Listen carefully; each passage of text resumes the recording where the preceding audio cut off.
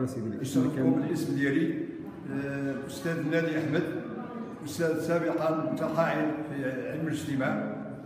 آه، هذه مدة وأنا كنهيئ لهذا المتحف عنده واحد 10 سنة ولا أكثر. كنت هيئته في الأول في المنزل ومن بعد نقلته إلى المسجد المسجد ديال القريه ومن بعد تحققت الأمنية ديالي أننا لقينا مساعدات من جمعيات وطنية ودولية.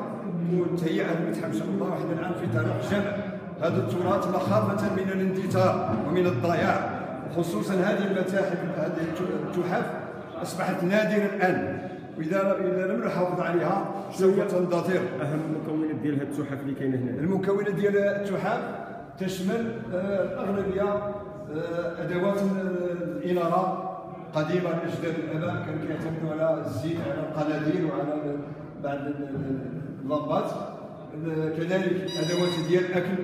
وادوات ديال الشرب كيشربوا الماء هذا التراث القديم خاص بالشرب ديال ديال الماء كانوا كيستعملوا هذا باش يشربوا الماء آه، ادوات كيجبدوا بها الزيت الزيتون. هذه البلات أو البلات هذا البلات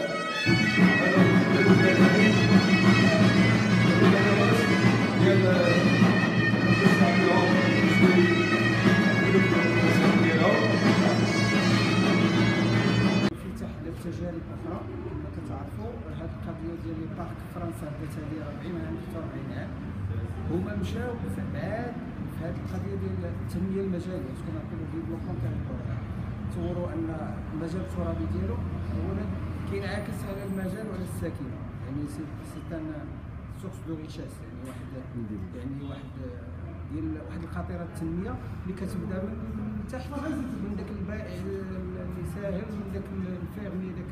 مول الضيعة مول الدار مول ذاك لو جيت يعني المنظور هو هذا هو التنمية من بعد في إطار الحماية على البيئة الحماية على التراث الثقافي الحماية على التراث الديني الحماية على الإنسان والطبيعة. ويكون إحنا إحنا ما بغيناش un tourisme de masse ما بغيناش السياحة ديال الكم ولكن بغينا سياحه الكيف يعني la qualité أن الناس يجوا يحترموا هذا المجال آه، يقدروا هذا المجال لأن باش نحافظوا عليه الأجيال الأجيال